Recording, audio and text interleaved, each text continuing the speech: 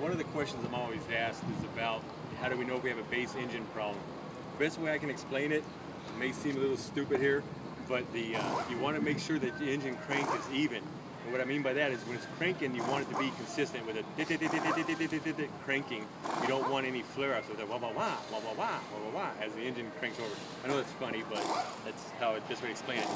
Also, the best way to do that, uh, make sure your key's off, make sure your truck's either in park or neutral, emergency brake is set and everything, and this connector right here goes straight down to your starter. You can take it off, squeeze the two ends together and unplug it, take your end here, you can see there how there's a place there with the wire, the end connection right there, move that, and we're going to touch it here on the battery. We'll touch it and listen to it crank. That's a pretty even crank with it. So that tells me, even though it's not 100% accurate, at least that lets us know that we don't have a base engine problem or a compression problem.